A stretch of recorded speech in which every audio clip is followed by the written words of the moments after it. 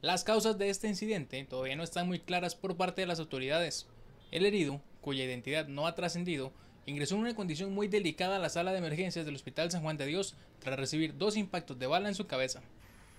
El hecho se dio en el sector de la 15 de septiembre, en Atillo, y los balazos le comprometieron seriamente su vida. Un paciente masculino con un impacto de, de arma de fuego en su cabeza, tiene un compromiso importante, signos vitales y se traslada a una prioridad roja al centro médico. ¿Dónde fue el incidente? Esto fue en 15 de septiembre, Atillo. ¿Venía muy delicado? Sí, en una condición delicada. Una vez que las unidades de rescate llegaron al lugar, trataron de mantenerlo vivo durante el traslado al hospital. Lo que se hace es un manejo, en este caso básico de vía aérea, mientras se logra tratar de preparar unas, un soporte avanzado, pero por lo rápido y lo cerca del centro médico, mantenemos eh, un apoyo básico vía aérea para llegar con un, al menos un buen patrón respiratorio del centro médico.